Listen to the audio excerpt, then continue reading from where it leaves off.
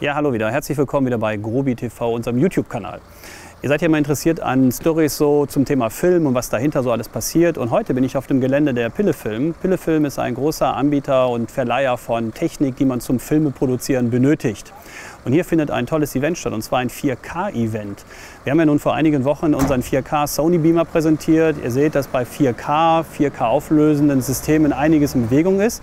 Und heute trifft sich hier mal so die Szene und zeigt mal, was äh, man mit 4K alles machen kann und welche Technik es eigentlich mittlerweile gibt, von der Kamera bis hin zum Projektor bis zum Schnittsystem, die man äh, heute nutzen kann und wie das Ganze auch bedient werden kann. Und darüber wollen wir eigentlich euch mal berichten und da bin ich mal gespannt, was wir hier heute im Laufe der nächsten Stunden erleben werden. Ja, neben mir steht Christian. Christian, vielen Dank, dass wir hier heute auch mal sein dürfen, dass das Event überhaupt ja, hier stattfinden wird. Ähm, stell dich mal kurz vor. Du bist was hier in dem Unternehmen? Ich bin der Disponent. Der Disponent. Das heißt, was machst du dann den ganzen Tag? Also Leute kommen, äh, sagen, sie hätten gerne eine Kamera mit Equipment. Ich kalkuliere das entsprechend und äh, schicke denen ein Angebot. Und ähm, dann gucke ich, dass die Sachen dann auch da sind zum vereinbarten Zeitpunkt und äh, schaue, dass das auch mit anderen Produktionen nicht kollidiert, miete unter Umständen zu äh, und am Schluss rechne ich dann das Projekt ab. Ja, jetzt sind wir nämlich auch schon mitten im Thema. Es geht nämlich um das ganze Thema Filmproduktion. Also es ist nicht so, dass die Regisseure, Kameraleute alle ihr eigenes Equipment immer haben, um dann solche Filme zu drehen, sondern ganz im Gegenteil. Das meiste leihen die sich wahrscheinlich für so eine Produktion. Fängt beim Scheinwerfer an und Richtig. hört dann bei bestimmten Kabeln nachher noch auf, je nachdem, denke ich mal. Ne? Richtig, genau. Kameralicht, Bühne, auch Fahrzeuge zum Beispiel. Wie, wie lange gibt es euch? Wie ist das Ganze angefangen? Von der Geschichte mal? Ah, Ungefähr. 25, 30 Jahre sowas. Gibt es euch schon? Ja. Und dann habt ihr angefangen mit Kameras, die verliehen wurden, Stative oder was hat man so am Anfang gemacht? Licht? Ich muss gestehen, dass ich die Anfänge, die ganz ursprünglichen Anfänge nicht mitgekriegt habe. Mhm. Es war zum Teil eben ein Vertrieb auch. Verkauf auch von solcher Genau, Produkten. richtig. Ähm, aber die allermeiste Zeit war es tatsächlich ein Verleih. Und wenn ich mich jetzt hier umschaue, ihr habt ja hier unter anderem, sind wir jetzt hier in der Scheinwerferabteilung. Mhm. Also wie läuft das? Äh, die rufen dann schon Wochen, Monate vorher an, sagen, hey, wir drehen den nächsten Film in Köln und wir brauchen doch zu diesen Tagen dann die entsprechende Technik. Oder ganz im Gegenteil, das läuft dann meistens so, morgens stellen die fest, die brauchen dann Scheinwerfer und dann rufen die bei euch an und dann müssen die natürlich auch sofort kommen und auch sofort das Equipment bekommen. Verschieden tatsächlich. Unterschiedlich. Also es ist tatsächlich so, dass ich sage, äh, eine Filmproduktion, Fernsehfilm, Kinofilm, die sind eher ein bisschen längerfristiger voran. Mhm. Äh, wir arbeiten aber größtenteils Werbung und da kann das sehr kurzfristig sein. Das ist meistens eine Woche vorher. Wir wissen zwar meist, dass was kommt irgendwann, aber die Equipment-Zusammenstellungen erfahren wir eine Woche vorher, manchmal drei Tage vorher erst. Und dann kommen die mit ihren Wagen oder habt ihr dann eigene Wagen und dann ladet ihr das ganze Equipment ein, fahrt zum Set hin und stellt das dann zur Verfügung mit euren Leuten auch teilweise oder wie läuft das so wieder? Ähm, es ist so, die äh, Kunden, die Produktionen schicken ihre Leute, die dann ah, ja. die Sachen hier auch nochmal verfeinern. Okay. A liegt es dran, sie wollen natürlich genau wissen, wo sind die Sachen dann auf dem LKW, weil ja, Geschwindigkeit ist natürlich da das A und O, das sie nicht fragen müssen. Und B ist es natürlich so, dass man beim Laden häufig noch mm, Zusätze gerne hätte, weil man merkt, oh, das äh, baue ich lieber so am Set ran. Deswegen schicken die ihre eigenen Leute. Und dann laden die das auf die LKWs und ähm, fahren dann zum Set und drehen dort, bringen es dann wieder zurück und entladen die Sachen dann auch. Und du hast gerade gesagt, das sind also Werbepartner, Werbefilmer, die die mhm. Technik nutzen, Kinofilme, Fernsehfilme, das ist so das Übliche. Privatleute können die theoretisch auch bei euch was leihen? Wenn sie Grundsätzlich können die auch Sachen mieten. Äh, letztlich ist es so, wir sind vertreten von Prosumer-Segment an bis rauf zum High-End. Segment. Insofern, also Prosumer passiert schon mal, dass auch ähm, jemand privat eine Kamera mietet. Ich habe jetzt hier ein paar Filmposter hinten gesehen in den Studios, beziehungsweise da hinten auch in den mhm. Büros. Sind das Filmposter, wo ihr mit dran beteiligt wart? Waren, direkt, ja, weil Technik von richtig. euch dabei war? Ja, ja. Sag mal ein paar Namen vielleicht. Ja, Slumdog Millionär zum Beispiel. Ah ja, richtig. Ähm, das Hochzeitsvideo äh, läuft jetzt demnächst an.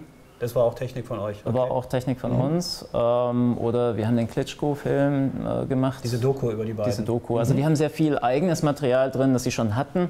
Aber das, was dazu kam, das haben wir ausgestattet. Okay. Jetzt haben wir hier hinter ähm, und hinter dir haben wir ein tolles neues Spielzeug, würde man eigentlich sagen. Aber es ist ja mehr als nur ein Spielzeug. Das ist ja ein neuer, wie nennt man das Ding eigentlich? Kamerakran oder wie nennt man sowas? Das ist ein Teleskopkran. Mhm. Das, der ist ganz neu, ne? Der ist ganz neu. Der, der ist, gerade eben. das Papier äh, mehr oder weniger entfernt von richtig, Folie. Richtig, ganz genau. Und das ist jetzt so ein, ein, ein Kamerakran oder sag nochmal bitte Teleskoparm hast du mhm. gesagt, ne? Teleskoparm, der ja heute von kaum einer Produktion wegzudenken ist. Ne? Damit kriegt man nur beeindruckende Effekte. Ja. Richtig, ja. Also das Spannende an diesem Kran ist, dass er quasi im On teleskopierbar ist.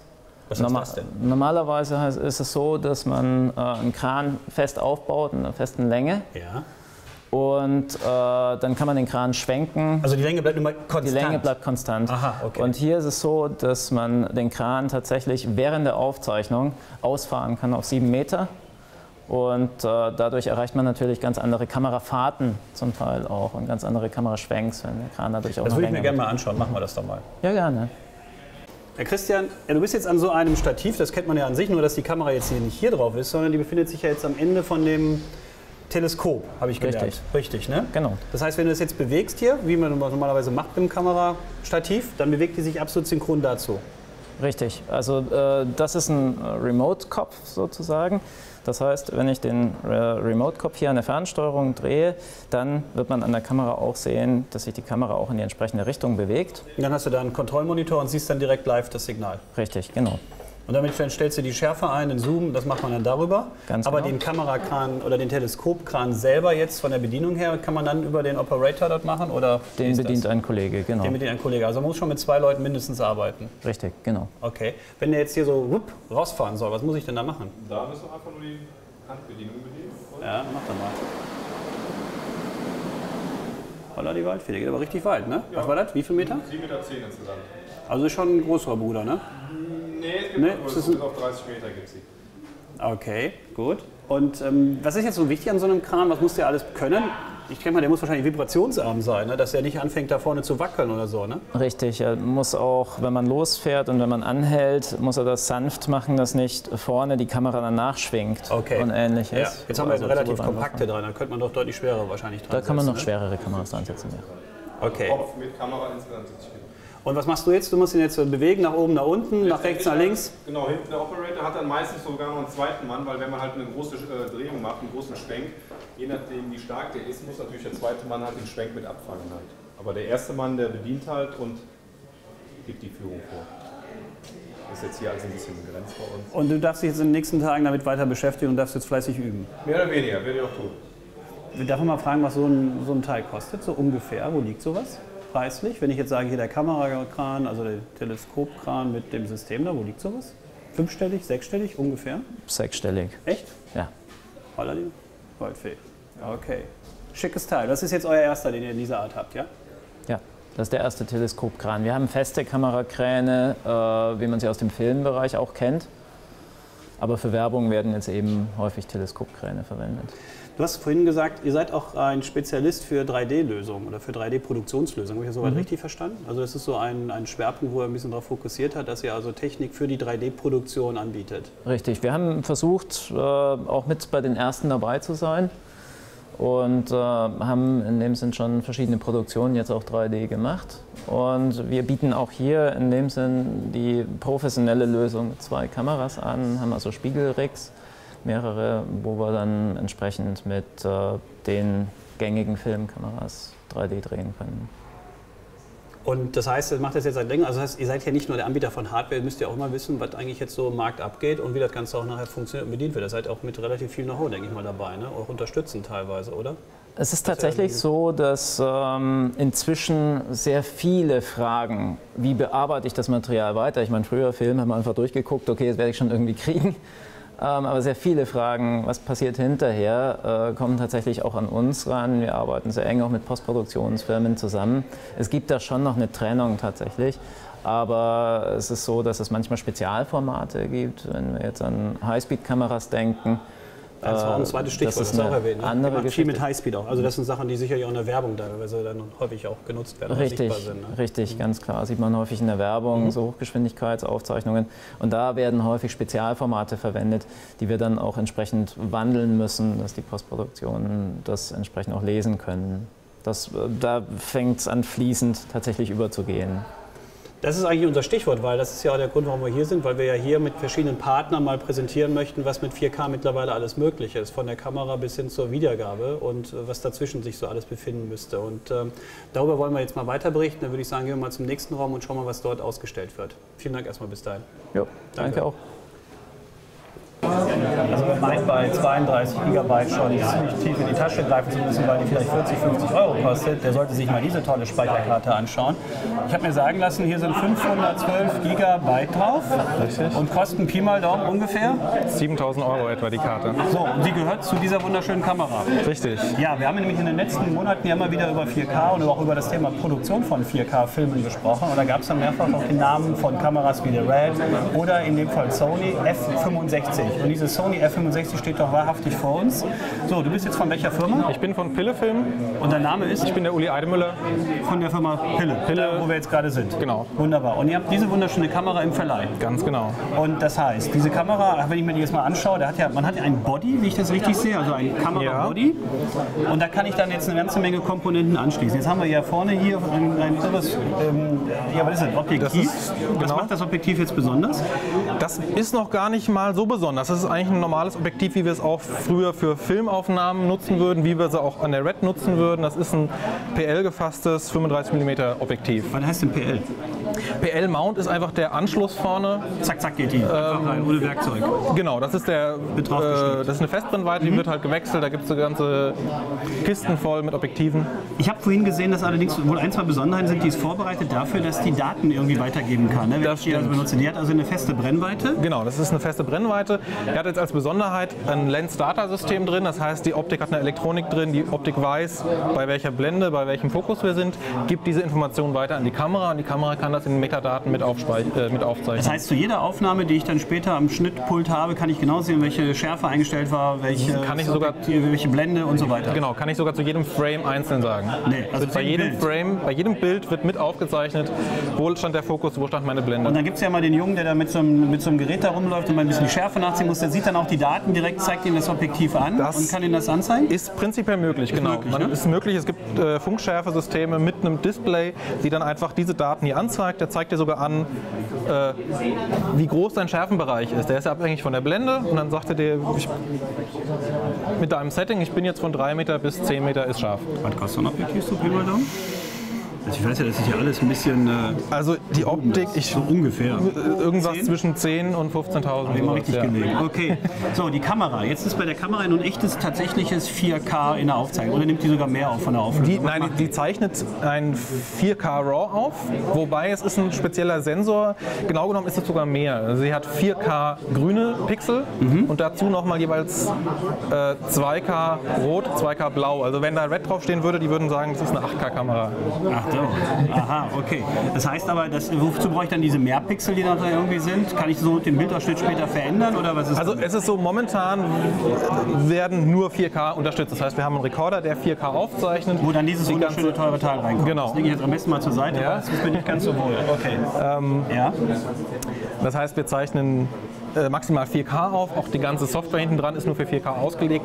Es könnte aber durchaus sein, dass Sony in einem Jahr, in zwei Jahren irgendwie ein Software-Update rausbringt und sagt, hier, okay, wir machen jetzt, wir interpolieren euch jetzt 8K aus dem Sensor, weil da ist, die Information wäre da.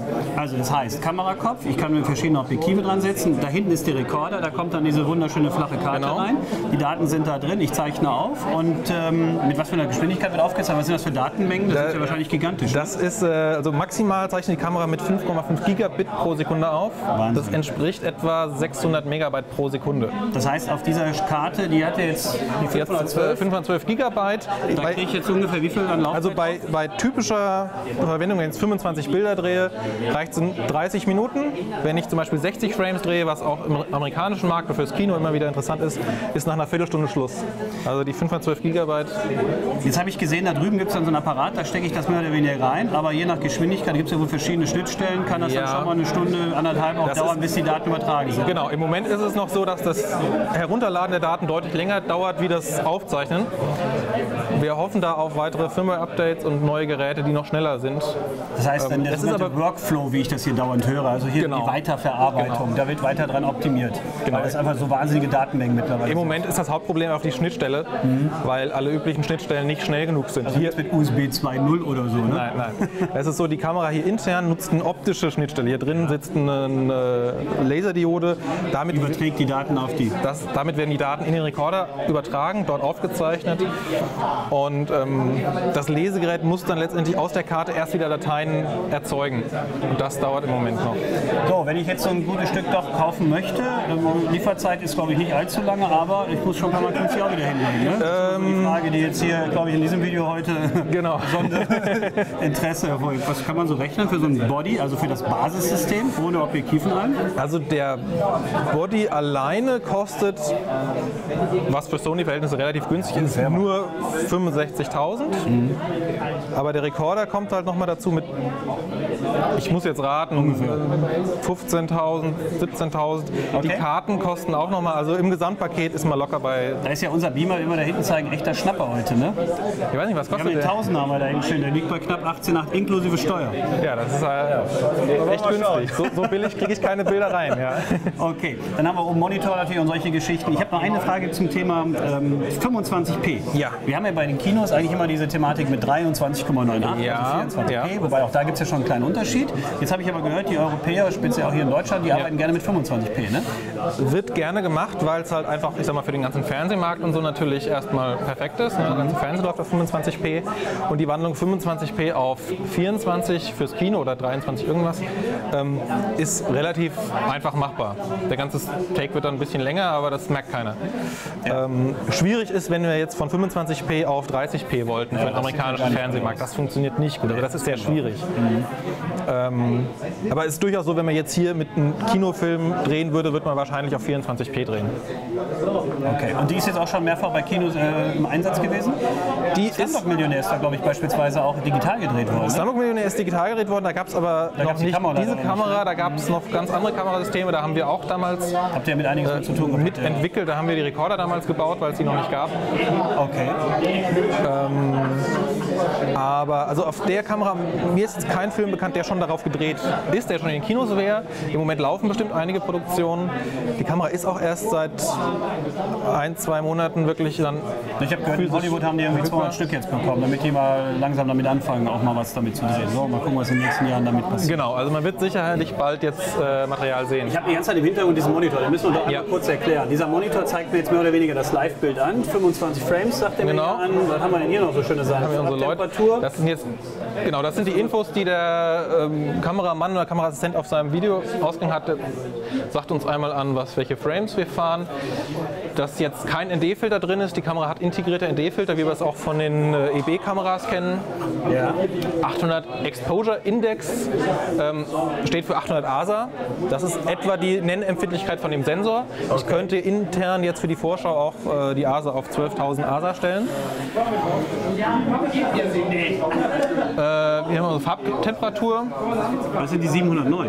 und der, das ist im Moment, unser Vorschau ist Rec 709, das heißt wir gehen in den Farbraum. Video-Farbraum.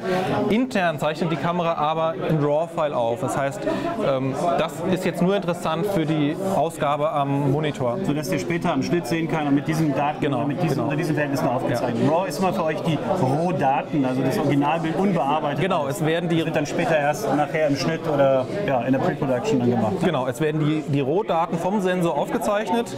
Das heißt, Sachen wie Weißabgleich, ähm, Sättigung, Kontrast und so weiter, wird alles nicht mit in das Bild eingebrannt, sondern es werden einfach so viele Informationen wie möglich vom Sensor in die Post getragen und dort dann die Farbkorrektur gemacht. Und das kann ja dann im, genau, das kann im Nachhinein alles noch gemacht werden. Ja, ja. Da wird man sich manchmal wundern. Deshalb gibt es manche Filme, die immer so grünstichig sind. Was haben die dann alles von Hand dann da? Das ist alles absichtlich später in der Farbkorrektur passiert, genau. Na gut, okay. Wollen wir mal gucken, dass unsere Farben stimmen und dann würde ich sagen, gehen wir mal zum nächsten. Ja. Danke. Was noch? Ja, da hat er noch was. das finde ich Ähm, aber gut, dass er noch. Was haben wir noch? Ich wollte gerade mal was zeigen, was, was ich sehr interessant finde. Wir haben hier zeig mal. ein Magnify von, weil wir haben ja das Problem, wir haben eine 4K-Kamera Ja. und hier kommt aber ja nur ein HD-Bild raus an meinem Monitor. Jetzt kann ich ja mal reinzoomen. Jetzt kann ich 4K-Aufnahme. vierfach in das äh, HD-Bild reinschauen. Ich habe immer noch ein scharfes Bild. Ich sehe immer noch keine Pixel. Ja. Und Ich sehe jede Fluse. das ist eigentlich unser Originalbild. Also wir haben ja, genau genommen ist das ja mehr als viermal HD. Schönes Spielzeug. Ja, auf jeden Fall. Klasse, vielen Dank erstmal. Gern geschehen. So, das geht jetzt hier Schlag auf Schlag. Jetzt sind wir direkt zur nächsten Position gegangen. Hier ist die Firma ISO.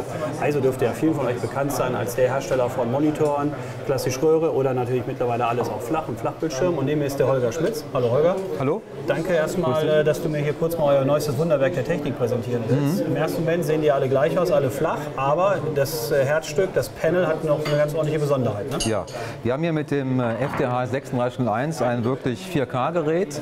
Das heißt, wir haben die maximale Auflösung von 4096 x 2160 und wir haben hier zwei Videoboards. Das Besondere an unserem Gerät ist, dass wir eingangsseitig jetzt mit Dual DVI oder Dual DisplayPort arbeiten können. Das heißt, wir können Rechner anschließen, äh, ganz normale Standard-Grafikkarten nutzen oder auch, wie gesagt, einen Content zeigen, wie man hier auf der Veranstaltung halt sehen können. Darüber hinaus bieten wir auch für den medizinischen Bereich ein Gerät an. Das ist der RX 840, ein Gerät, was sozusagen für die Mediziner im Bereich der Befundtechnologie wichtig ist. Auch das ist halt ein 8-Megapixel-Monitor und das ist jetzt die Office-Lösung für den äh, Bereich Broadcast und die RX 840-Lösung ist sozusagen für den medizinischen Bereich das entsprechende ja Gerät. Stoppen. Ich konnte ja gar keine Frage stellen, aber der hat es direkt beantwortet. Super. Nein, also medizinischer Bereich muss ich mal eben fragen. Warum medizinischer Bereich? Ist der irgendwie immun gegen Röntgenstrahlung oder was Nein. das für die Anforderung? Es gibt halt hier im Bereich der, Packsysteme halt äh, eine entsprechende Helligkeitslösung. das heißt, wir haben hier eine sehr hohe Helligkeit. Die Geräte müssen kalibrierbar sein für die Konstanzprüfung. Es gibt halt Auflagen vom Gesetzgeber Damit her. das Blut auch so aussieht, wie Genau. aussehen soll. Die? Geräte müssen entsprechend geprüft Okay. sein Okay. und müssen dann abgenommen werden, um dann letztendlich diesen äh, Status als Befundgerät zu verdienen. Wo setze ich eure Geräte jetzt ein? Also wenn wir jetzt hier mal im Bereich Produktion sehen, in den, in den Schnittstudios, Mhm. äh, Pre-Production-Bereich oder wo wird das eingesetzt? Also derzeit haben wir die ersten Erfolge jetzt bei äh, Kunden im Bereich Design.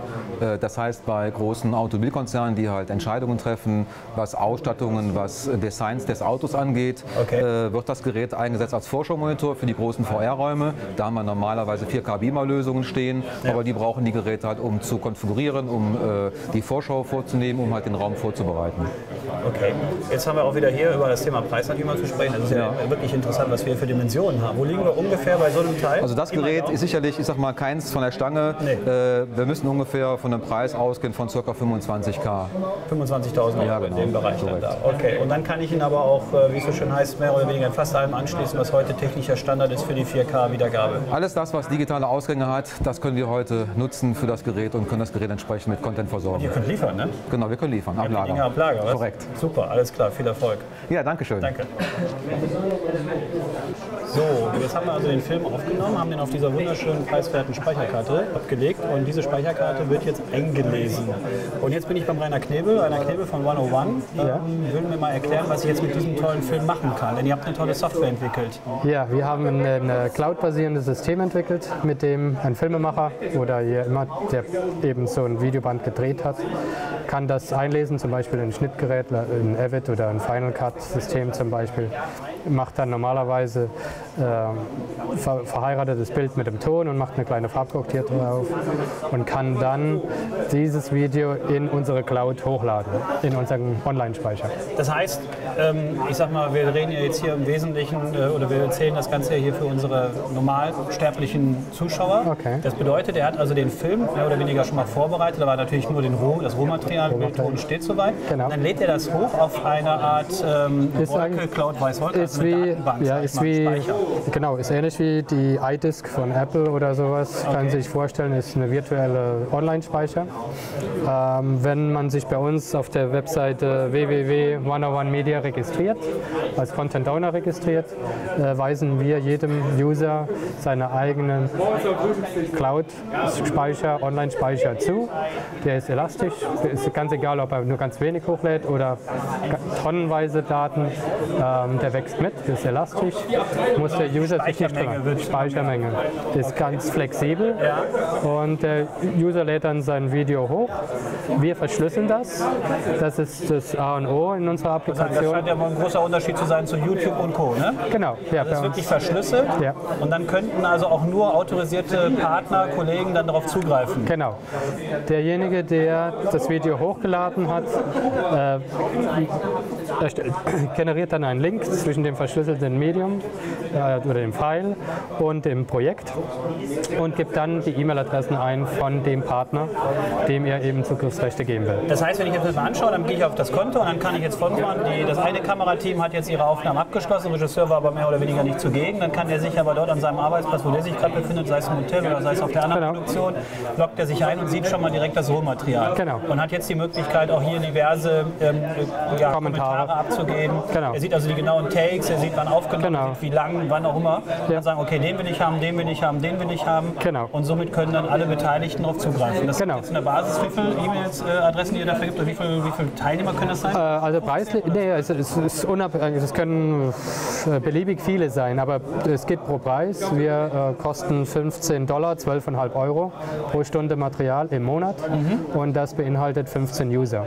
Also Sie können eine Stunde Material mit 15 Teilnehmern äh, teilen. So, wenn er das jetzt hier bearbeitet hat, kann dann wiederum der andere, der, der Schnittmeister, Editor, der ja. kann dann vielleicht anhand dieser Vorgaben den Film dann direkt weiter bearbeiten. Genau, also zum Beispiel die, die Liste von dem Material ist zum Beispiel, sag mal, jetzt hier diese zehn Elemente, es gibt zehn, zehn Szenen und Takes in, hier drin. Äh, hier sieht man die Approved-Spalte.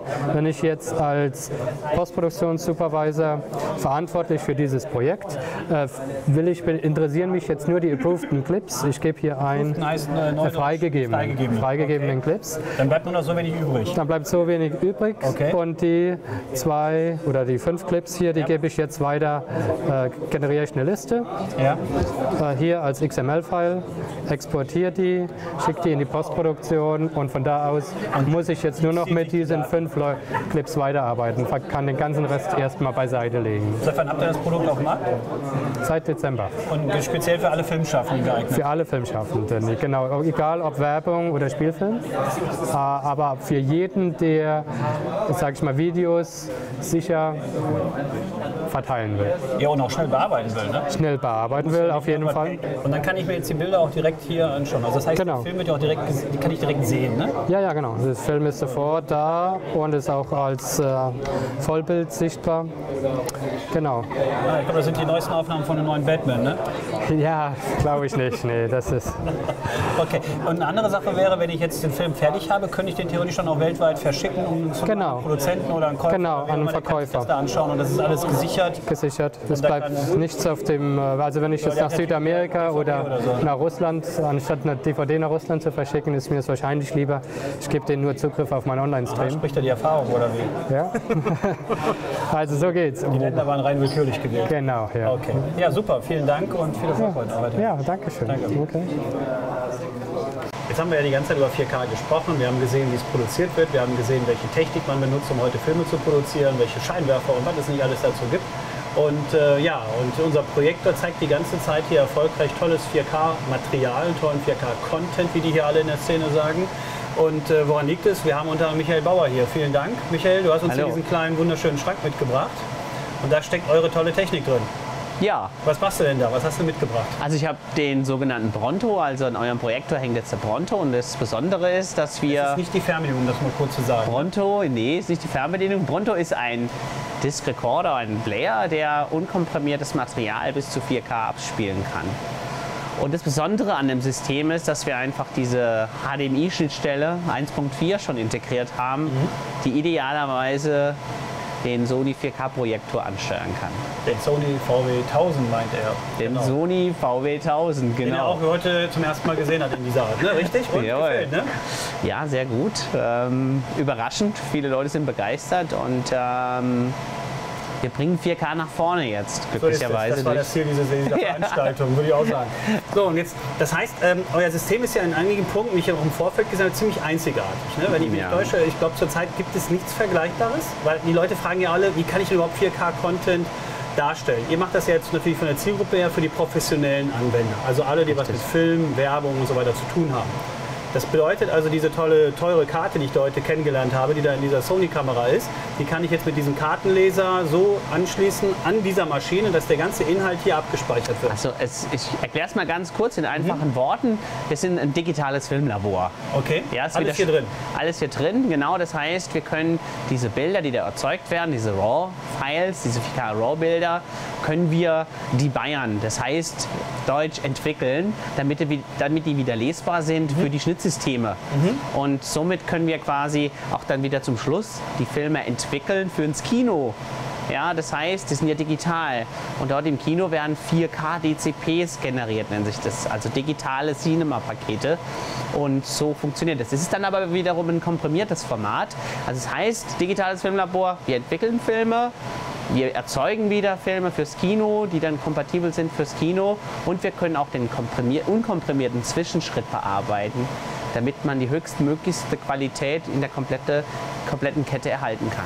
Jetzt was zu den technischen Daten. Ich habe ja gesehen, da sind so viele nette kleine blaue Lampen am Leuchten hier. Sieht ja sehr, sehr sexy aus, aber das hat nicht nur, sag ich mal, einen netten Effekt, sondern ist auch wirklich praktikabel, weil diese Lämpchen bedeuten, dass alle Festplatten am Arbeiten sind. Wie viele sind hier drin?